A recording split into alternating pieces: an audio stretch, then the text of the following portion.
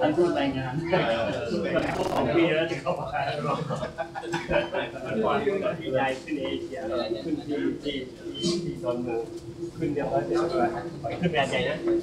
ตอนนี้ได้เวลาการเดินทางจากกรุงเทพไปกรุงเทพเออไม่วิ่งไปพอมันรถตู้วิ่งรับกลับมาหนักมันหลุดไปได้ยังไงคันนี้ไปเฮ้ย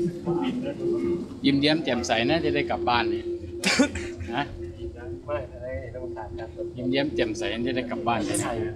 ใช่เลยไอ้เจียไปบดกเห็นถือที่ของเมียทั้งนั้นเลยนะใช่ไม่มีเลยไม่มีเลยของของตัวเองไม่มีเลยนะเนี่ย